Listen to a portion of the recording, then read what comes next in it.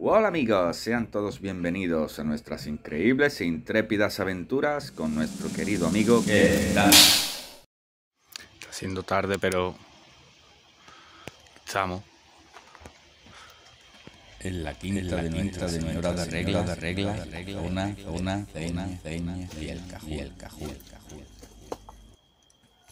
Alcalá de Guadaira fue llamada Al-Sahal, la llanura y su castillo Calat Shabir o castillo de Yaver y más tarde Calat al-Weshira o el castillo de Cira.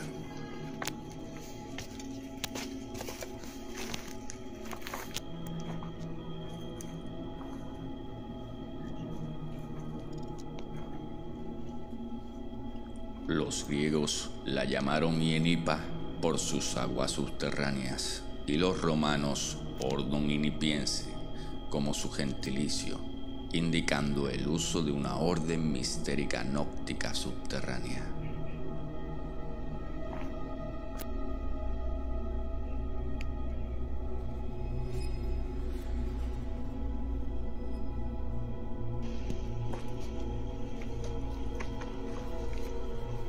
El culto a Asclepios griego y a Esculapio romano, asociado con Hermes por el báculo de la medicina y al Tot egipcio por sus dotes curativas, está presente en la medicina romana desde el siglo V a.C. y el Tratado Hipocrático, la rama medicinal científica, desde el 460 a.C., uniéndose en centros salutíferos, con templos, estatuas, altares de sacrificio y mesas de ofrendas, donde el enfermo pagaba abluciones y ofrendas de sacrificio y efectuaba el lavado en una pila bautismal o perirraterión por la iatromántica el arte o magia de la limpieza por el agua, siendo Alcalá o Yenipa un lugar con múltiples templos a Esculapio, por puntos donde brotaban aguas termales del acuífero de los Alcores.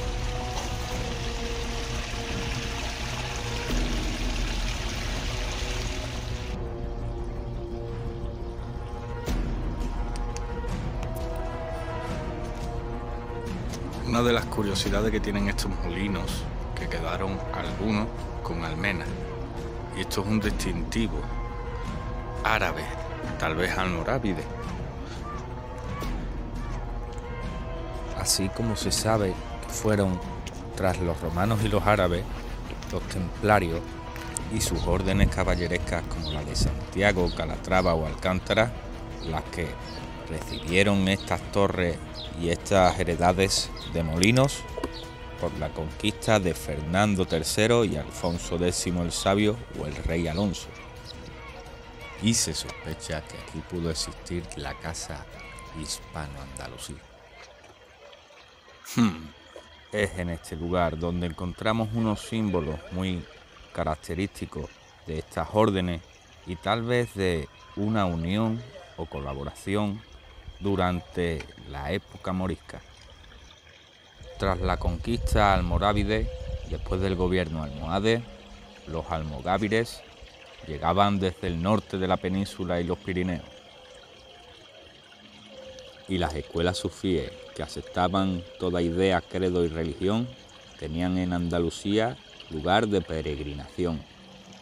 Así como las tribus bereberes y almorávides llegadas de África tenían sus costumbres y antiguas tradiciones, encontraron aquí un lugar para llevarlas a cabo, en los antiguos morábitos, junto a las tradiciones locales yenipenses y carmonenses y a los antiguos ritos de Asclepios,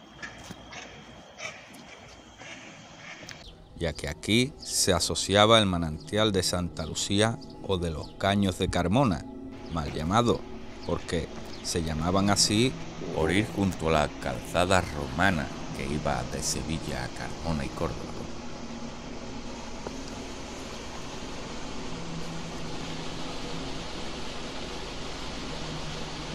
Como ven, esas escaleras implicarían a darse un baño de limpieza.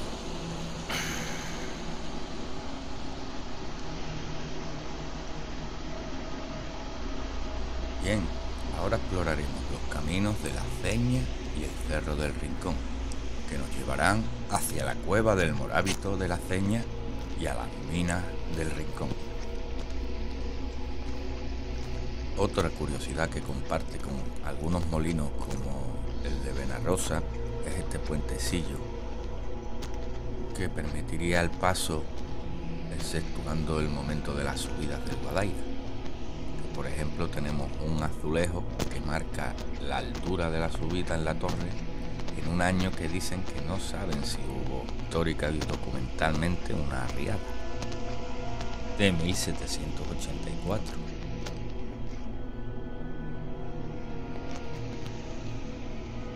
La encrucijada. Sigamos explorando estos caminos y continuaré con la historia.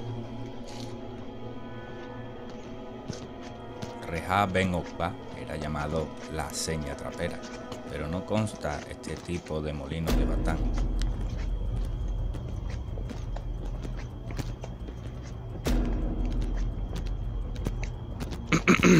Hola, perdona, ¿a Narnia?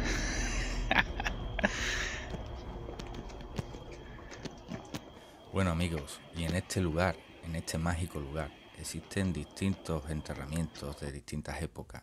Por ejemplo, uno del que nos habla el padre Flores de la época de los romanos, del tal Marco Aceña Elvis Agripa a la sepultura de su padre Marco Aceña, que serían nieto e hijo de Marco de la tribu Galeria, que tuvo de sobrenombre Elvio Agripa y que tuvo también un montón de títulos, como tribuno de la plebe, varón pretorio, legado de la provincia de África y de la diócesis de Cartago, y en la misma provincia de África, cuestor, triunviro capital carcelero o uno de los ocho jueces que conocían en causas capitales, y tribuno lacticlavio o senatorio de Siria en la legión decimosexta llamada Flavia.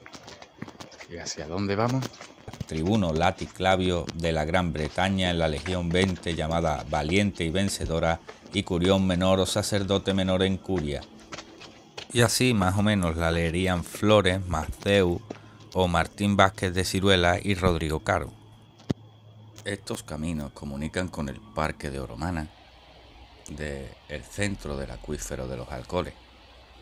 Las zonas del Gandul y el Rincón serían las más antiguas con asentamientos precristianos y prerromanos en los que hubo control de los molinos de la Boca, la Fortuna, la Ceña, el Cajul, Benarrosa, en Oromana y Rejaluet, el molino hundido del Rincón, del que tenéis el capítulo anterior de la serie de Molinos del Guadaira.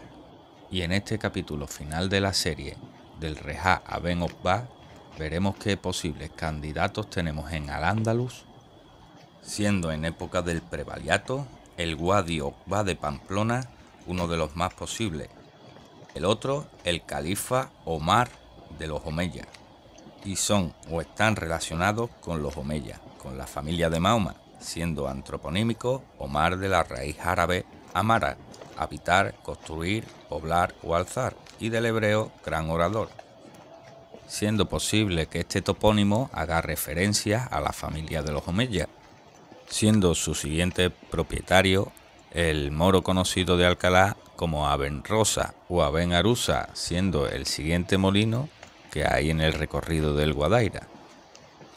Así, Rejaluet sería la primera presa o sud del Guadaira y la Ceña sería la segunda en el sector del Rincón, siendo el Cajul la fuente de Santa Lucía y de los Caños de Carmón destacando la importancia del lugar por sus aguas manantiales y minas de agua que buscaban estas venas subterráneas.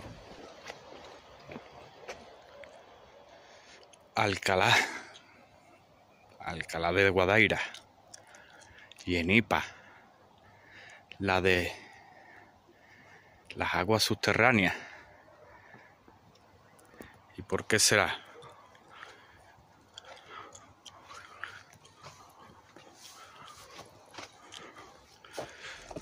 Entradas a galerías subterráneas como esta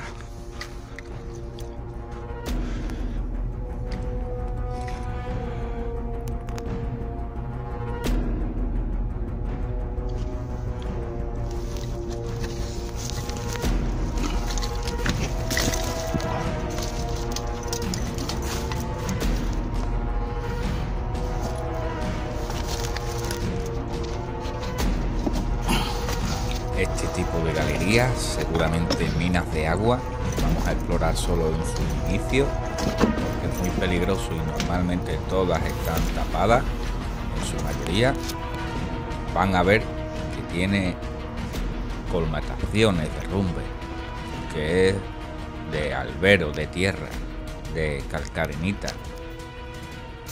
En concreto son tierras sedimentarias de poca dureza, blandas, fácil de excavar de forma que fue posible excavar en la antigüedad grandes y largas galerías kilométricas que se suponían de factoría árabe, pero se comprobó que al menos eran de antigüedad romana y es posible que incluso anteriores. Y es que Alcalá está repletísimo de galerías subterráneas, con más de 20 kilómetros por lo menos comprobados y estudiados por la Asociación de Espeleología de Exploraciones Subterráneas Andaluza y otras asociaciones espeleológicas y de amigos de la historia que se encuentran en los Alcores.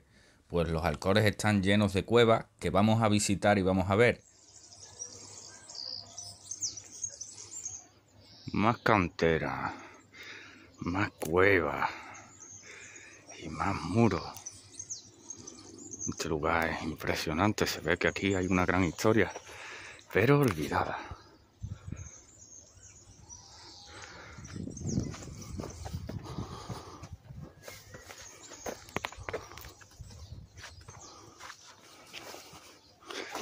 Y esta sería la cueva del Moravito de la Ceña, del Cerro del Rincón. Pasemos a verla con nuestra fiel acompañante, la mosca. Y a plena luz del mediodía, Observen bien esos detalles. con toda la mierda que hay en el sitio. Las hornacinas, ese lavadero a un lado, los huecos, ese muro de piedra local derribado seguramente para desbloquear la entrada. ¿De qué época es exactamente? No se sabe, no hay nada concluyente, apenas unas pocas citas sobre la existencia de este moravito en el rincón. Ya hemos reportado otro moravito muy importante en los Alcores y conocido en la zona de la Cueva de la Batida, en Carmona. Y vamos a ir a ver a más cuevas que hay en la zona de Carmona y en la zona del Corbone, así como hemos reportado otras en Lora del Río y Setefilla, las cuales podrán encontrar en nuestra serie de investigaciones por la Sierra Morena de Sevilla, por Osa Morena y por la Campiña. Así que aquí concluimos la serie de Molinos del Guadaira y os invito a la próxima entrega especial de símbolos de los Alcores, con la ceña y el cajul con los símbolos de 1800 masónicos, como los de la motilla de Alcaudete o el Moscoso, y el cubil de los Reyes Católicos con los símbolos de cantería de 1500. Así como entraremos en la historia templaria y andalusí de estos símbolos. Cruz de Santiago, Cruz Templaria y Media Luna Árabe. Y así cerramos la serie con el avance del capítulo especial de símbolos de los Alcores y las misteriosas cuevas de Alcalá y Carmona. Así que no se pierdan nada aquí en Keltitán.